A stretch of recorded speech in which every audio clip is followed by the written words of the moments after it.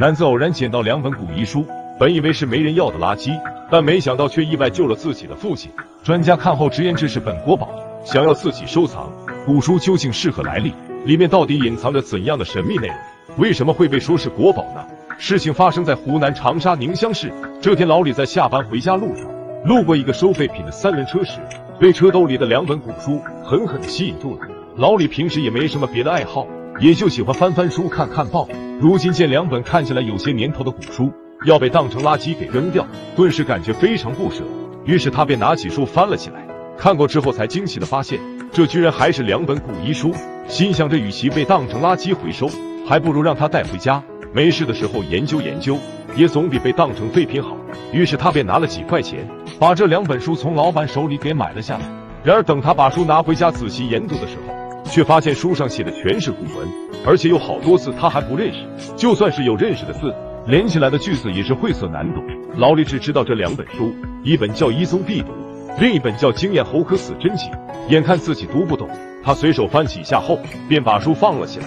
一眨眼，多年过去，此时也逐渐被老李抛之脑后。可突然有天，他父亲嗓子出了问题。最开始只是轻微咳嗽，并没引起家人重视。然而随着时间一天天过去，症状不仅没有缓解，甚至开始变得连话都说不出来。老李这才意识到事情的严重性，带着父亲到省市的各大医院到处跑。然而各地的医生都看了，钱没少花，父亲的病却是依旧没有好转。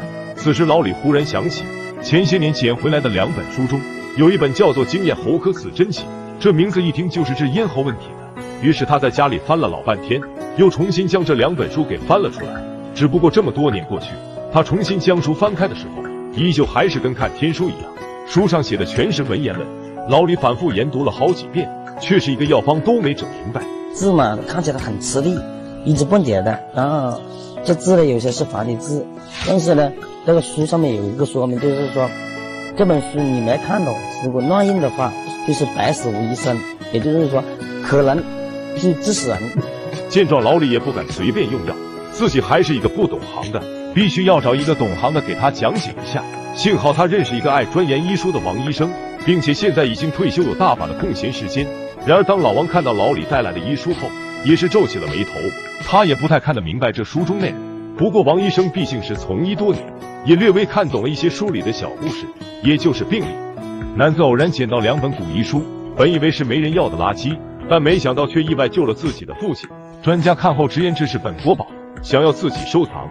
古书究竟是何来历？里面到底隐藏着怎样的神秘内容？为什么会被说是国宝呢？老李因为看不懂书中内容，便拿着书让王医生看。然而王医生看后也只是略懂一二。王医生惊讶的发现，书中记载的病例不少都是侯爷、王爷、学士、大学士这样身份的病人，但是书中的其他内容，王医生理解起来还真的是力不从心。不过他建议老李去湖南省中医药大学第二附属医院，因为那里有他一个熟人肖教授。他应该能看得懂，于是老李只好带着这两本医书来找了肖教授。还真别说，教授真不愧是教授。肖教授接过老李送来的书，仔细研读后发现，书中竟然把喉咙的七十二症全部记录下来了。同时，这里面还记录了上百个药方，甚至有不少方子，我们至今还在沿用。这本经验喉科此真经可以说有着重要的实用价值和研究价值，并且最重要的是，肖教授告诉老李。这书里的确有记载治疗他父亲的药方。直至此时，老李一直紧绷的心才终于有些缓和，至少这一趟没白跑。紧接着，肖医生又给老李讲起了医宗必读来历的民间故事。相传在明末清初，一个名叫李忠直的年轻人，他的母亲突然有一天得了怪病，连续多天滴水未进。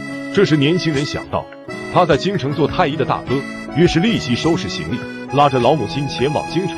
然而，这大儿子给母亲一把脉，却发现他的母亲已经命不久矣，告诉弟弟赶紧启程回家给母亲准备后事去。他则需要先去告假，等上头允许之后就立即赶上。弟弟自然是相信哥哥的话，但心中却仍存不舍，求着哥哥至少开一张药方，总比什么都不干强。大哥拗不过弟弟，就只好写下来一张方子。这药方上写道：仙人顶中水，二龙沐浴堂，乌鸡双子蛋，状元定心粥。这听起来算是什么药方啊？就像是糊弄人的一样，并且还说道：“非而不孝，实乃而不才。母亲所患其疾，非人力可为。虽有药治，却世间难寻。”意思是这病不是老大不治，而是他知道怎么治，但治病的药材世间难寻。小儿子无奈只好带着老母亲回了家。男子偶然捡到两本古医书，本以为是没人要的垃圾，但没想到却意外救了自己的父亲。专家讲出了关于伊松碧这本书来历的民间传说。在明末清初，李忠之母亲突然得病，便带着母亲去找宫里当太医的大哥，却得知这病虽能治，但药材却是世间难寻。无奈只得带着大哥写下的药方和母亲先回家。这大哥也跑去请假，准备回家奔丧。然而等这大哥回到家后，却发现本来奄奄一息的母亲竟然精神倍好，能跑能跳的。大哥见状也是懵了，于是问小弟这到底是什么情况？小弟逮到大哥，立刻就是劈头盖脸一顿骂：“你这医术到底是怎么进的太医院？不行就别待在宫里了。咱老娘回来药都没吃，自己就好了。你却说老娘要不行了。”到底是何居心？这大儿子也懵了。安抚好弟弟的情绪后，让他把回来后发生的事一件不落的全讲出来，这才明白到底是怎么回事。原来小儿子带着母亲回家的路上，母亲半路突然渴得不行，可这前不着村后不着店的，于是他只好独自到山里找水。没想到找了半天，他只在一个人头骨里发现了一些凉水，可这水谁能喝得下去啊？但小儿子左思右想。半天了才找到这么点水，母亲已经要不行了，就不要再避讳这些。于是伸手就要取水，而他刚碰到头骨时，里面竟然窜出两条小蛇。这小儿子也没顾得上那么多，把水端给母亲喝下后，便继续赶路了。等到了晚上，他们就找了一户人家借宿，没成想这户人家当天诞下了个大胖小子。按当地习俗，家里生了儿子要吃定心粥。见老人身体虚弱，这户人家也给借宿母子端了一碗，并且还专门给他粥里倒了鸡蛋。谁知道这颗鸡蛋竟然还是个双黄蛋！老母亲喝下以后休息一晚，第二天到家就变得生龙活虎了。大儿子这次明白，他们这是阴差阳错的，把药方上的药材凑齐。没想到这么离谱的药方竟真的能成。太医也是喜出望外，从此他潜心钻研医术，想破解药方的秘密。后来太医蒙冤被革，落难后得到一个状元的救济，得知这个状元竟是当年母亲借宿那家人生下的儿子，于是他便把自己凝聚一生。编撰而成的医宗必读，交给了状元发扬光大。